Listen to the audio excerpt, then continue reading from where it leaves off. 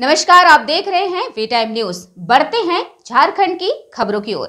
दुमका ज़िले में पिछले दो दिनों से लगातार हो रही मूसलाधार बारिश से जहाँ लोगों की दिनचर्या प्रभावित हो गई, वहीं सरैयाहाट प्रखंड के मध्य विद्यालय मरकुंडा में इस भारी बारिश का पानी घुस गया था, जिससे उस स्कूल के बच्चे और शिक्षक के साथ साथ अभिभावक और ग्रामीण भी पिछले ही बरसातों से परेशान थे, और इसके समाधान के लिए बाध्य होकर ग्रामीण अब सड़क पर उतर आए हैं। पाँच शिक्षकों के द्वारा पढ़ाए जाने वाले लगभग 200 से ज़्यादा बच्चों की स्कूली दिनचर्या और मध्यान्ह भोजन प्रभावित हो गई थी। साथ ही अन्य समस्याओं की भी संभावना बनी हुई थी। मध्य विद्यालय मरकुंडा में एक आपत जैसी बन चुकी स्थिति और उससे निजात दिलाने के सभी प्रयासों के साथ वी टाइम न्यूज़ दुमका के संबंधित संवाददाता द्वारा वस्तु स्थिति का कवरेज किया जाने तथा वही उक्त स्कूल के संबंधित अभिभावकों और ग्रामीणों द्वारा समाधान के अंतिम अनुरोध पर अड़े रहने के औचित्य को लेकर पुलिस बल के साथ पहुँचे प्रखंड विकास पदाधिकारी के द्वारा उक्त आपातग्रस्त विद्यालय में हुए जल जमाव की समस्या को 26 सितंबर की देर शाम तक में ही दूर कराया गया।